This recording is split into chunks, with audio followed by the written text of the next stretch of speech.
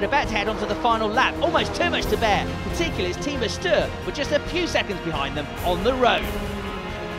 Are they still a lap down? Because they're right behind Down into the chicane for the final time, and the Team Astur car had now overtaken JPR and left them behind. But crucially, that was just to unlap themselves, and the British team was still in front. An agonising final lap, the longest of their lives. But then history was made as JPR Frenchstone won the 25 hour bunker.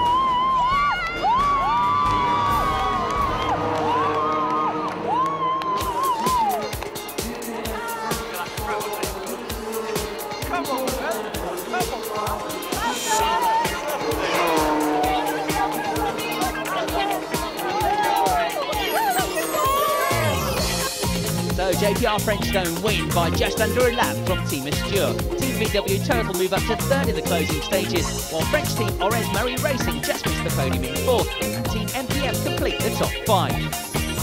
JPR obviously with the UK class as well. Twang.net were next up after a brilliant 12th, while Team Ram claimed the final UK podium in 27th after late race problems put Team Tiger back.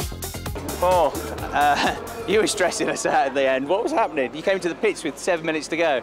Yeah, we had a problem with the wheel earlier on in the race and we lost the wheel stud, so it was on three wheel studs.